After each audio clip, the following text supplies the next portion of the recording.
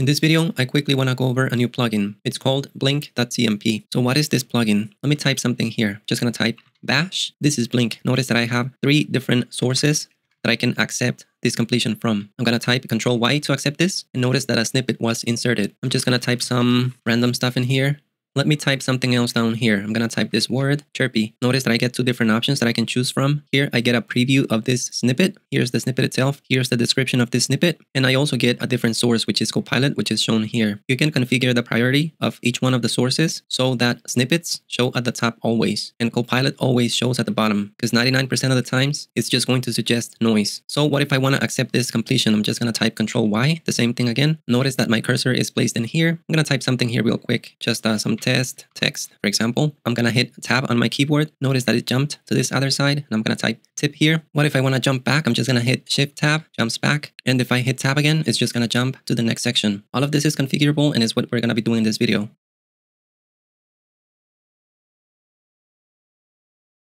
If you want a more formal definition on what Blink.cmp is, let me jump to the website real quick. And notice here that it's a completion plugin with support for LSPs and external sources that updates on every keystroke with minimal overhead. If we keep scrolling down here a little bit more on the website, we're going to find the features. Let's keep scrolling down a little bit more. Here's how it compares to NVIM CMP. If you want to find out more, you can go to this website. It's really well documented and it has a lot of information.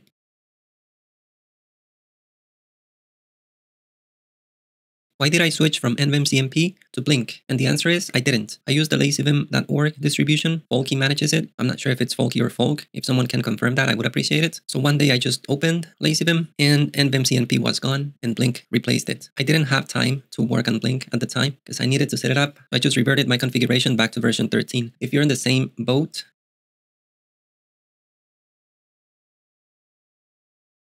And if you want to know how you can pin your LazyVim distribution to a version so that updates don't break your configuration, let me show you real quick. I'm just going to open a file here that I have core core.lua. Here it is. Let me open the file. And here, if you just add this file to your plugins directory, you uncomment this, you can pin your LazyVim distribution to a specific version. So it doesn't matter if we are on version 14, 15, you're always going to be pinned to this and new changes are not going to break your config.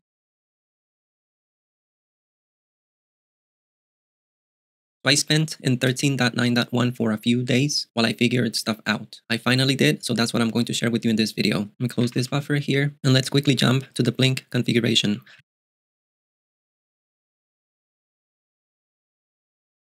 Just gonna open the file, blink-cmp.lua, here it is. And if we scroll to the top of the file, we're gonna notice that I left here some description, documentation pages. Here's the LazyVim page, the repo for Blink, and here's where it starts. If you're also using the LazyVim distribution the same way that I am, it already comes with a lot of defaults. So the only thing that I had to do is add my sources and then specify the priorities for the different sources. So notice here that all of the um, sources are specified. LSP is the first one. I have the highest priority set to that. Notice that it's set to 1000. The higher the number, the higher the priority, as you can see here. LuaSnip comes next. This is the one that provides all of my custom snippets. If you remember the commands that I was typing here, bash or the other command chirpy, or if I type Python, for example, here, I hit control Y, this is just a code block for Python. So that is what LuaSnip does. If you want to learn how to use LuaSnip, how to set up your custom snippets, I have a video, which is the one shown here on the screen, custom snippets in NeoVim and configure completion priority on NVIM CMP. In that video, I use still NVIM CMP, but I do show how to configure LuaSnip. So go over that video if you want to set up your custom snippets, but instead of NVIM CMP, we will be using Blink, which is the one shown here on the screen. Okay, so notice that LuaSnip has a priority of 950, which is a little bit lower than the LSP. Notice here that snippets has a priority of 900,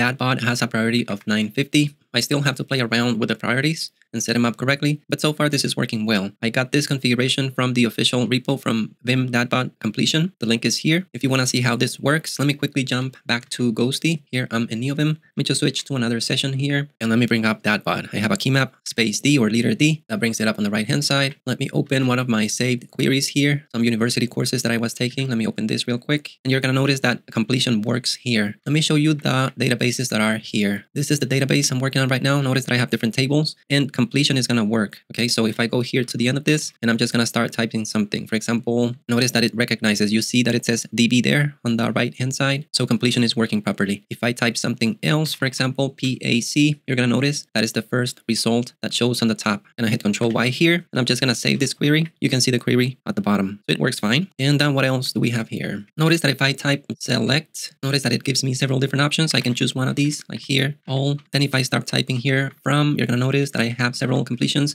You see the DB on the right and I can type something here like this, for example, and it just works. So that's what this source is, dadbod, and it works great with Blink.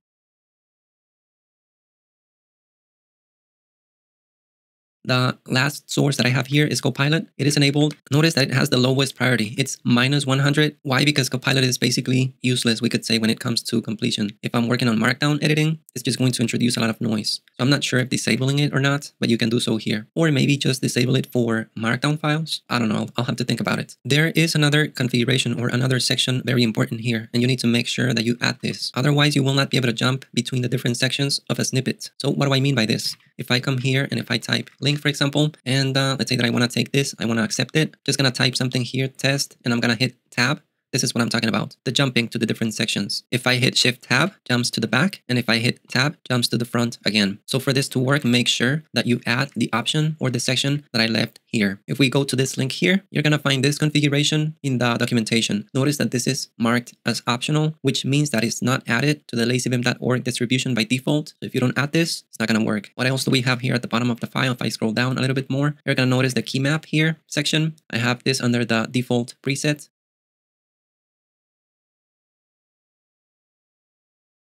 You're going to notice that I didn't specify CR, which is enter, because I don't like completions to be accepted with enter. Why? If I'm typing something in a markdown file, I get to the end of the line and I want to go to the line below. Let's say that I'm in a bullet point. I hit enter, that's going to accept the completion and I don't want that. So that's why you see here that to accept completions, I do it with the default, which is control Y. It's not specified here, but that's what works. Here you can also see that to jump to the next item in my custom snippets, I use tab and shift tab to go backward. The up arrow just moves me up and down as you can see here, or you can use also control P, control N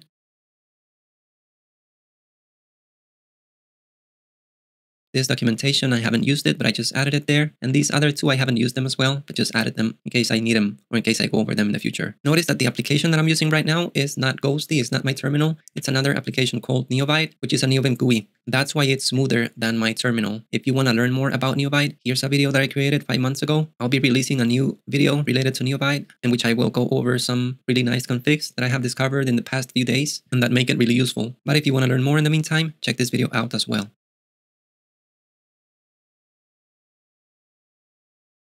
How do you enable Blink? If you are in LazyVim, you just will have it by default. Let me open that lazy extras here. You're going to notice here that coding that Blink is enabled by default. If you read here on the line at the very right hand side, it says that it's included by default the same way as FZF. I'm not using FZF yet. I'm going to create another video on the reasons why. I'm still in Telescope, but we'll see how it goes.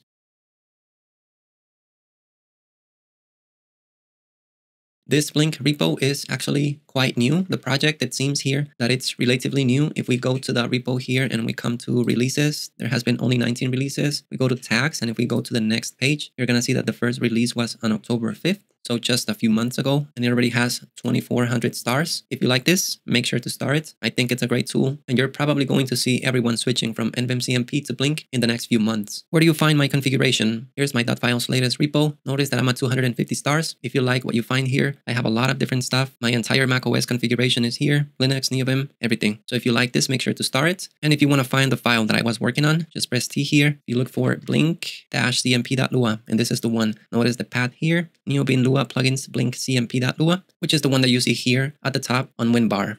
Okay, so I just quickly wanted to go over Blink in this video. I hope this unlocks you in case that you were stuck like I was for a couple days, but everything's back to normal. If you find this useful, let me know down in the comments. If you like the video, also let me know down in the comments. That's it for today. I'll see you in the next video.